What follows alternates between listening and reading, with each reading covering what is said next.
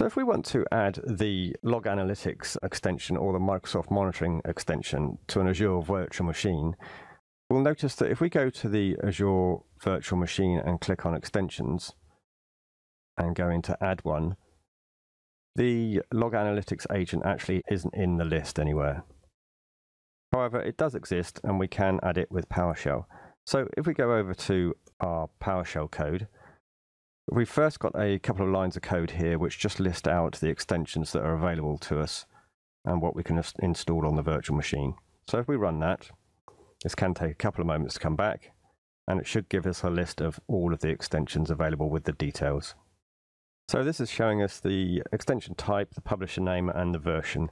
And if we scroll down a little bit, we'll see that we've got the Microsoft monitoring agent there with the publisher against it. So we're going to use the set Azure RM VM extension commandlet here in order to add this extension to the virtual machine. So the first thing we need to set up is the workspace ID and the workspace key into a public settings variable and a protected settings variable. We can get these by going to the Azure console, going into Log Analytics and into our workspace. And in advanced settings on the right hand side, we should see our workspace ID and our primary key. Those are the two keys we need for this command.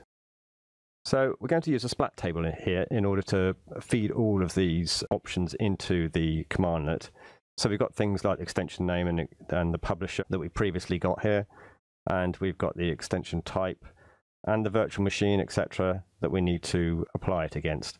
And we're going to use the as job equals true switch because we want this to run in the background because it can take quite a while.